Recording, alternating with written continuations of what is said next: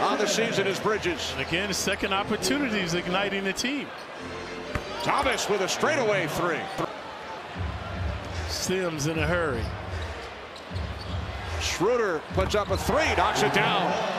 The Knicks want to make sure they ease him in to the NBA game. For a big man, there's a lot to learn, but there's certainly a lot to like about what he brings at both ends of the floor. 14 for Anunoby, 12 apiece. Brunson and Bridges. Schroeder quiet tonight. Think he heard you. Both teams with their starting five on the floor. Schroeder, no look pass. Finney Smith knocks down a three. Simmons at center in the absence of Nic Claxton tonight due to the back issue. Here's Thomas, works his way inside, lays it in. Right inside of OG. Unable to connect on the corner three. That's with a little pep in their step. Schroeder knocks it down. Yeah, Schroeder previously. Gautier and Huck Porty with the defensive pressure. Five on the 24. Clowney knocks down a three. Hukporti.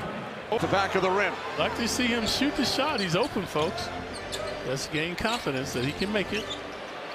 Finney Smith from downtown. He's exuding confidence now. Hukporti seeing major minutes tonight. Turns it over.